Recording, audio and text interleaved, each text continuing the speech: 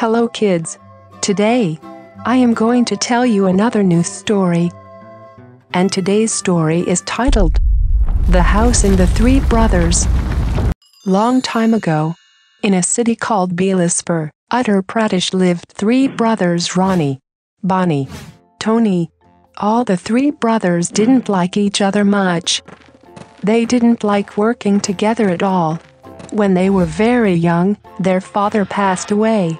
Their mother used to do farming to run the house, and the sons helped their mother too. One day, their mother fell ill. Mother called all her sons and said to them, Children, I won't survive for too long now. All three of you are very dear to me. Before dying, I just want to see you all settled. I want, instead of living in a hut, you all have a big house of your own, where all you brothers live together in unity. Will you fulfill this wish of mine? Hearing their mother's wish, they go in deep thought because they didn't like each other. They were in a terrible dilemma. Answer my question, my children. Keeping his mother's current condition in mind, Ronnie says, Okay, mother. We will do exactly like you have said. But first, get well soon. With this response by Ronnie, Mother was very satisfied. But Bonnie and Tony were not very keen about it. Outside their house, they tell Ronnie, Why did you say that to our mother? That all of us will live together? Exactly. Why to unnecessarily give her false hopes? Instead, you should have stayed silent like us. What are you guys saying? Stop stressing over it. Let our mother recover first, then we will discuss it some other time. And even I don't wish to rack my brains with you. Yeah, yeah, whatever. Just don't be under any misconception. I can't even think about spending the rest of my life with you two. Me neither. all three brothers pray for their mother to get well. But soon, she dies. Her death got them thinking again about what to do now. Ronnie remembers his promise to his mother and goes to his brothers and says, Brothers, I was thinking, why don't we three work together? Just like our mother wanted. Don't even think about it. I don't want to work with either of you. Mother only wanted us to be worthy and be able to get a big house for ourselves. But her last wish was that we all live under one roof with love and unity. The least we can do is try. You better forget it. This is not going to happen. Yes.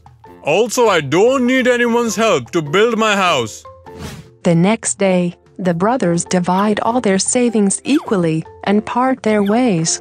Now all three brothers had a challenge ahead of them to spend their savings wisely and build a house for themselves. I will build my house out of bamboo and straw. It will be very economical for me. This way, I will be able to build my house faster, and with the remaining amount, I will be able to buy all the items of household necessities. Bonnie decides to build his house out of bamboo and straw. On the other hand, Tony is also planning to build a house. I will build my house out of woods. House made of wooden will stay cool, and I will be able to sleep peacefully. Also, with the remaining amount, I will buy some really comfortable mattresses for myself. With this thought, he went to a woodcutter and bought woods to build his house. The third brother, Ronnie, was thinking about building a strong house. He invested all his savings into buying red stone and rice flour. Then, he is left with no money to buy other necessities. But he doesn't give up and works on a farm and saves money.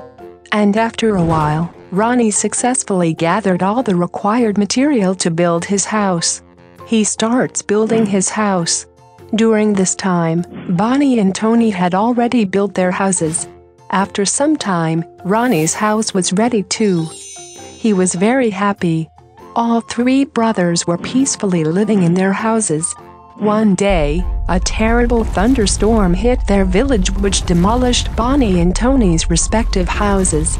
They went running to Ronnie's house and saw that his house was perfectly intact. So, how long are you guys going to stand outside in the rain and stare? Come on in. Bonnie and Tony go inside the house, and they felt very ashamed of their behavior. Please forgive us, brother. We built our houses but forgot that it is very important to have a strong foundation. We will never forget this act of kindness of yours. No, please, don't be silly. In the time of need, one should only count on family, and you are my brothers. And our mother also wanted us to stand by each other in the hour of need. From that day on, all three brothers started living happily and working together too. So, kids, from this story, we learn a lesson that every work done in a hurry yields bad result. If you enjoyed this video, do like, share and comment and to be the first person to watch our videos, make sure to subscribe the channel and press the bell icon for timely notifications.